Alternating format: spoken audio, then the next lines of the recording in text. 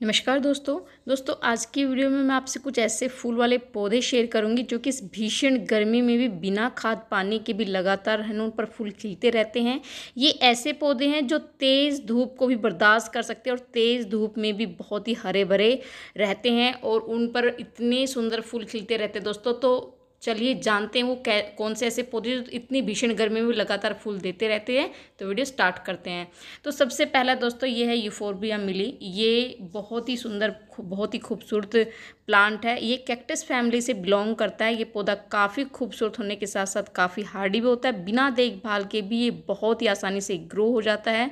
अगर आप इसे नर्सरी से में लेने जाएँगे तो कई वेराइटी में आपको मिलेगा। बहुत सारे रंगों में भी आता है कटिंग से बहुत ही आसानी से ग्रो हो जाता है। मैंने कुछ टाइम पहले इसकी कटिंग लगाई थी। आप देख सकते हैं कि कटिंग से बहुत ही आसानी से ग्रो हो जाता है। किसी भी मौसम में आप इसकी कटिंग लगा सकते हैं। हर मौसम में इसकी कटिंग ग्रो हो जाती है। ऐसा नहीं कि बरसात के मौसम में भी इसकी कटिंग लगाएँगे। लेकिन हाँ इसमें एक ये होता है कि इसके जो स्टेम पे काफ़ी सारे, है ना, कांटे होते हैं। तो बस थोड़े से इसलिए इसको लोग बाग कम ही खरीदते हैं कांटों की वजह से। लेकिन इसमें फूल बहुत खूबसूरत खिलते हैं। बहुत सारे रंगों में आते हैं दोस्तों। और अगर आप इस पौधे को कई दिनों तक पानी नहीं देंगे तो भी ये पौधा बिल्कुल हरा भरा रहेगा ग्रो करता रहेगा। तो बिना खाद, पानी में खाद की भी इसको बिल्कुल भी ज़रूरत होती। है दूसरा, दूसरे पौधे की बात करूँ दोस्तों, ये है कनेर का पौधा। कनेर का पौधा भी काफ़ी खूबसूरत पौधा है।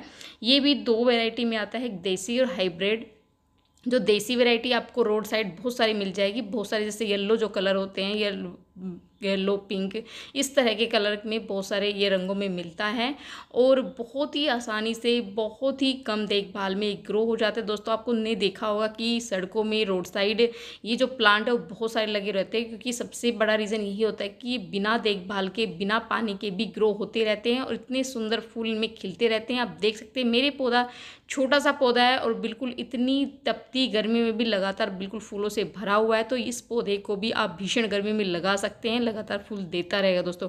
अगला पौधा है दोस्तों, ये है सदाबहार। सदाबहार में भी दो वेराइटी आती है हाइब्रिड जो विंका होता है और एक सदाबहार। सदाबहार में लगातार तीन सौ पैंसठ दिन फूल खिलते रहते हैं।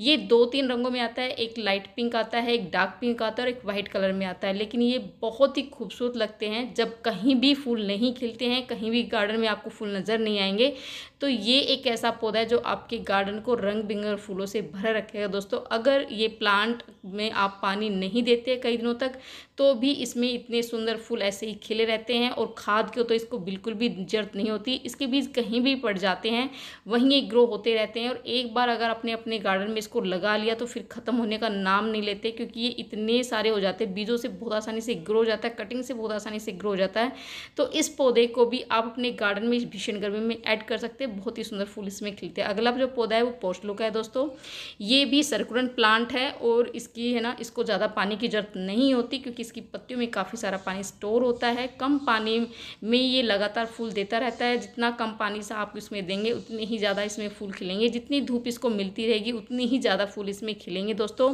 तो बहुत ही भीषण गर्मी में लगातार फूल देता है इसमें इतने सारे कलर आते हैं दोस्तों। बहुत ही सुंदर लगते हैं। गुलाब के फूल को भी ये माफ़ कर देता है। इतने सुंदर फूल इसमें खिलते हैं। इतने बड़े बड़े साइज़ के फूल खिलते हैं दोस्तों।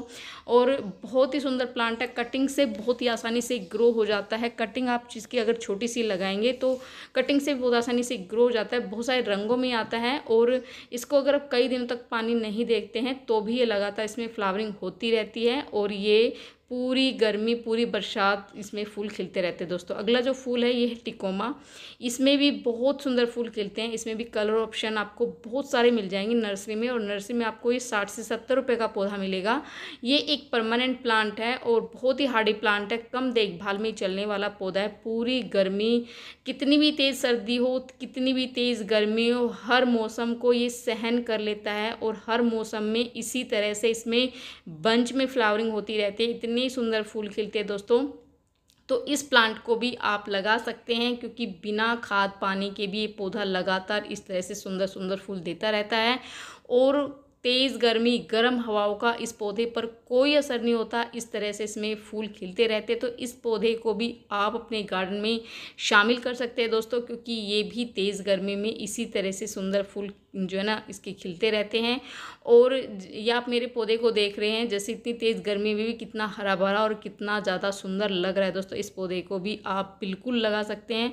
तो दोस्तों, ये थे ऐसे पौधे जो भीषण गर्मी में भी आपके गार्डन को रंग बिरंगे फूलों से भरे रखेंगे और बिना खाद पानी के भी कई दिनों तक अगर आप इन पौधों को पानी नहीं देंगे, फिर भी ये पौधे लगातार फ्लावरिंग करते रहते हैं। बहुत ही सुंदर, खूबसूरत प्लांट है दोस्तों तो इनके आप अपने गार्डन में ऐड कर सकते हैं।